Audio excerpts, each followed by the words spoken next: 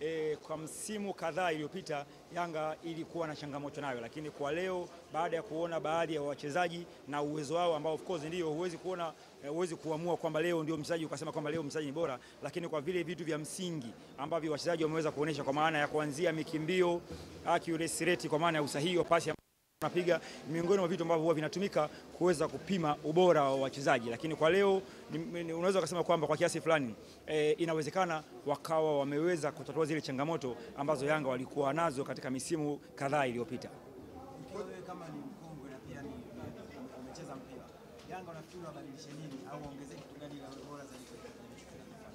Ah, kwa jinsi timu ambavyo inavyocheza, kwa sababu kumbuka, unajua msimu huu hapa hakuna pre-season.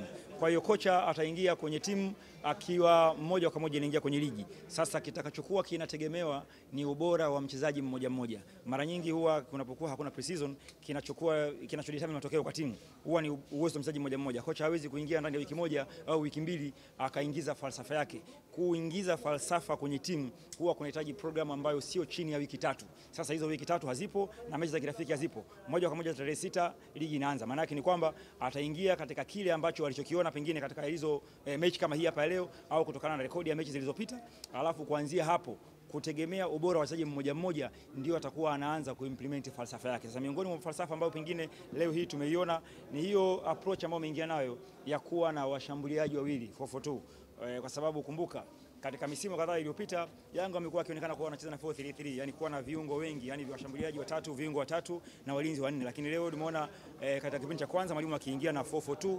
Unapoingia na 442 maana yake ni kwamba unakuwa unategemea mawinga. Sasa hiyo ni miongoni mwa kiashiria ambacho kinaonyesha falsafa ya mwalimu huyu ni falsafa ya kutumia mawinga, natural wingers. Kwa hiyo ukiwa na natural wingers maana yake ni lazima pia uwe na watu ambao wanaweza kumalizia zile cross ambazo zinapigwa. Kuwepo kwa mtu kama Tuisila, unamwona mtu kama Faridi maana yake ni kwamba hao wote wanaweza kukaa pembeni na kwa wanaweza kupiga hizo krosi, lakini umaliziaji ndio kitu ambacho mwalimu anatakiwa aanze kukifanyia kazi, kwa sababu muda haupo, lakini inategemea na namna ambavyo timu itakuwa ina perform, na ndiyo kitu ambacho kitakuwa kinamfanikisha yeye kuanza kuingiza falsafa yake.